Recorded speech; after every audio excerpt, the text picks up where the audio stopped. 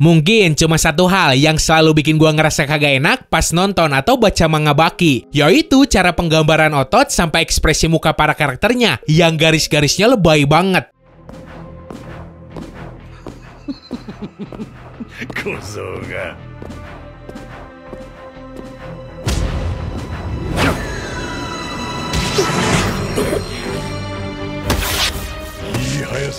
Beberapa dari karakter di daftar ini ada yang belum muncul di animenya. Jadi harap lu malum kalau seandainya nanti muncul cuplikan yang kagak sesuai sama karakter yang gue sebutin. Palingan nanti gue kasih slide tampang mereka doang.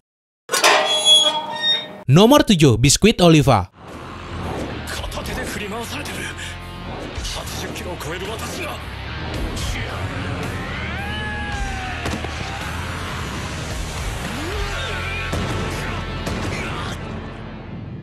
kriminal paling berbahaya asal Amerika. Uniknya, nih orang bisa kuat murni karena fisik sama insting bertarungnya doang. Berhubungkan si Oliva ini sama sekali gak tahu atau melajarin seni bela diri apa pun. Tebal otot miliknya ini bisa nahan tembakan peluru shotgun yang dibidik langsung ke dadanya.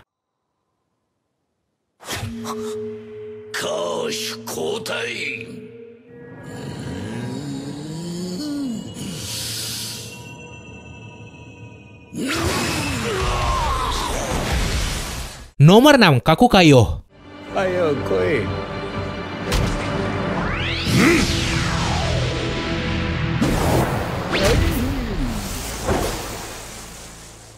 勝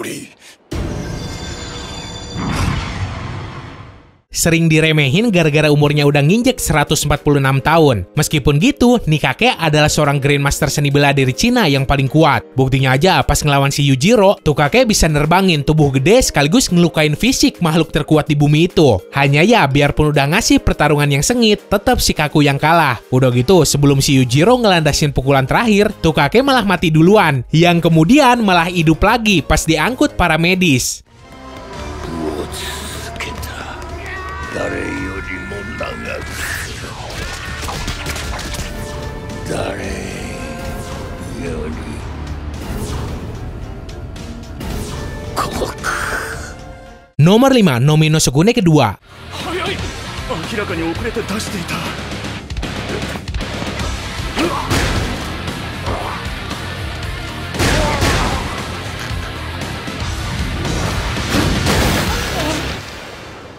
Kekuatan daya cengkera miliknya sendiri setara sama 100 ton beban. Pernah si pesumo ini sparingan ngelawan si Oliva. Pas si Oliva ngeluarin tinju besinya, eh malah tangan si Olivanya sendiri yang hancur pas dipakai buat mukul jidatnya si Sukune.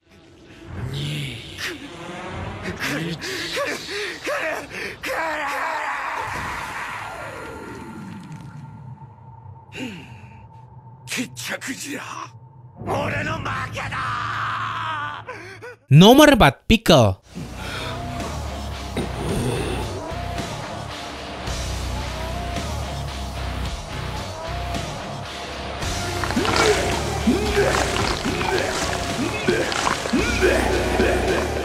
Manusia purba yang hidup di zaman Jurassic yang kesehariannya tuh ngeburu dinosaurus pakai tangan kosong buat jadi bahan makanan. Dulu pas Doi lagi bertarung ngelawan T-Rex, tiba-tiba ada meteor yang jatuh ke bumi. Terus ngebukuin si Pickle jadi bongkahan es. Time skip ke masa depan, si Pickle dibangkitin lagi dari tidur panjangnya. Si Kaku Kayo sendiri pernah bilang kalau tuh kakek lebih milih pura-pura mati daripada kudu ngelawan si Pickle. 礼に達しながらなんという負け惜しみ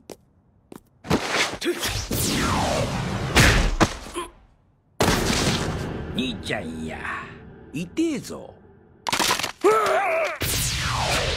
Nomor 3, Miyamoto 加えたというわけだ。つまりこのコンクリートの利を海洋の名を海外に持ち出すだけのことはある。理解が早い Samurai terkuat yang tapak sejarahnya ada di berbagai literatur Jepang. Sebenarnya, nih orang sendiri udah lama mati. Tapi karena ada saintis yang berusaha ngebangkitinya lagi, akhirnya dibikinlah sebuah klon yang terbuat dari sel tulang belakang si Musashi. Udah gitu, tubuh dari klonnya itu diisi jiwa dari sosok Miyamoto Musashi sendiri. Jadi, ingetan sekaligus pengalaman bertarungnya sama kayak pas Doi masih hidup. Orang ini juga yang udah bikin si Pikal kabur dari arena tanding sambil nangis.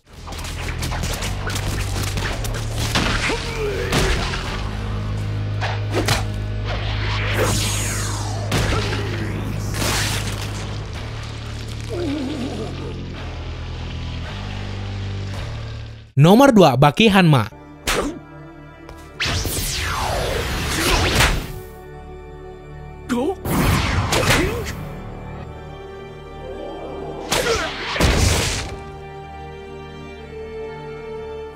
Di cerita manga Baki si anak ogre sebelum pertarungan terakhir ngelawan babenya sendiri, nih cowok udah nunjukin bukti sebagai petarung yang kuat. Terus belum ngeluarin seluruh potensi di dirinya. Logikanya gini deh, seandainya bukan Doi yang nantinya jadi manusia terkuat di bumi, mana mungkin seluruh series nih cerita judulnya makin nama Baki semua. Sama aja kayak Naruto. Kalau tokoh utamanya kalah atau mati, masa judulnya bakal diganti. Tapi ya biarpun punya kekuatan plot armor, di pertarungan terakhir pas ngelawan babenya, si Baki belum bisa ngelampauin si ogre dan pertarungan bisa dibilang berakhir seri.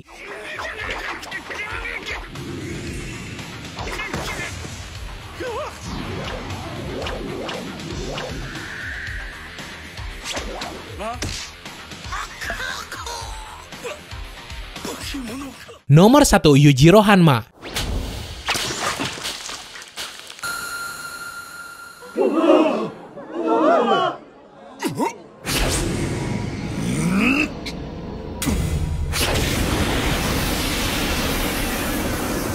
Disebut sebagai makhluk terkuat di bumi dan dijuluki dengan nama Ogre. Dulu ketika umurnya masih 16 tahun, si Yujiro pernah ngalahin seluruh tentara Amerika yang beroperasi pas perang Vietnam. Selain hal itu, banyak banget pembuktian lain yang ngasih lihat kenapa si Yujiro bisa nyandang gelar terkuat. Dari semua pencapaiannya, hal yang paling gak masuk akal tuh waktu nih makhluk ngehentiin seluruh aktivitas tektonik pas gempa bumi dengan cara ninju tanah. Selain itu, si Yujiro ini punya mode di mana kekuatannya ningkat jadi gila banget. Pas muka iblis di otot punggungnya muncul.